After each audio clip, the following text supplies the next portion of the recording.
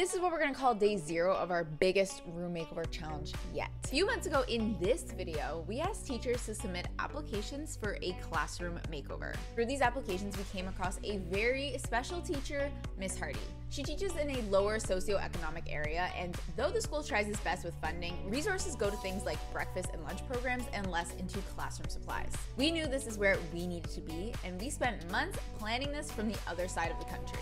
We started with Pinterest and mood boards, and from there we created a very detailed design plan from floor plan measurements Ms. Hardy sent us. We also spent a large amount of time sourcing to make sure we found the best possible materials and products, always aiming for budget and thrifted options. We even ended up building this market structure we wanted to start before even getting into the classroom. We had to make sure that we were as prepared as possible once we actually got there, especially since we only really had five days to get this all done.